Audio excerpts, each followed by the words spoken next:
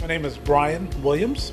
I'm with the uh, Randolph County Caring Community Partnership as well as the Focus on Fatherhood Network. Uh, Randolph County Caring Community Partnership, we serve as the community convener. We bring together uh, agencies, other partners, community residents, and uh, we kind of look at a community issue, an emerging issue. You know, what, what is the issue? What's causing the issue?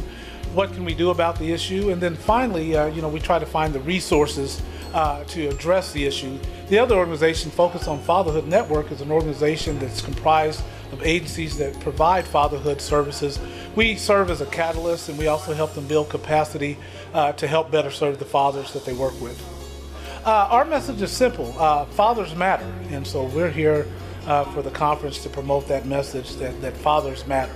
You know, fathers, the ability to bounce back, uh, you know, fathers unfortunately tend to be the ones that kind of left out. And so I think this message of resilience is encourage our fathers to, to stay in there. You know, you fall off the horse, you know, get back in the saddle. So uh, that's what to us resilience is about, you know, getting back in the saddle and encouraging fathers to do so.